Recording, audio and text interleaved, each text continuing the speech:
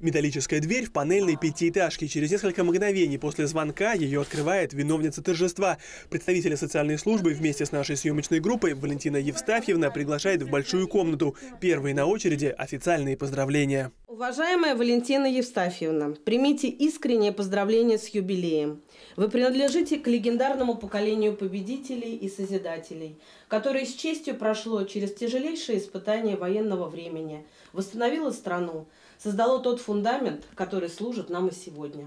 Ваш жизненный путь, любовь к родине, сопричастность к ее судьбе являются достойным примером для молодежи, для всех нас. Желаю вам доброго здоровья, бодрости духа и всего самого наилучшего. Президент Российской Федерации Владимир Владимирович Путин. Официальные телеграммы и открытки Валентина Евстафьевна складывает в специальную папку синего цвета. Их там уже несколько десятков, а еще газетные вырезки. За свою жизнь женщина неоднократно попадала в фокус журналистов. В углу комнаты снимок покойного мужа, он служил военным. На шкафу, где хранится праздничная папка, фотографии детей, внуков и правнуков. Запомнить всех кажется невозможным. Одних правнуков 12 человек, а меньше года назад родился первый праправнук.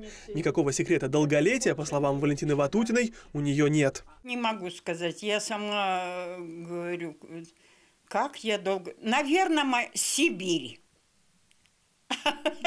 Я сибирячкой себя чувствую. Наверное, вот, может быть, родители были здоровые. Вот это. Ну, я себя вот чувствую. Я не ожидала, что я доживу до такого возраста. Родилась Валентина Евстафьевна на Дальнем Востоке. В Подмосковье переехала 50 лет назад с мужем. Всю жизнь проработала акушеркой в Видновской поликлинике. Сейчас по ее стопам и в медицину собирается идти одна из правнучек.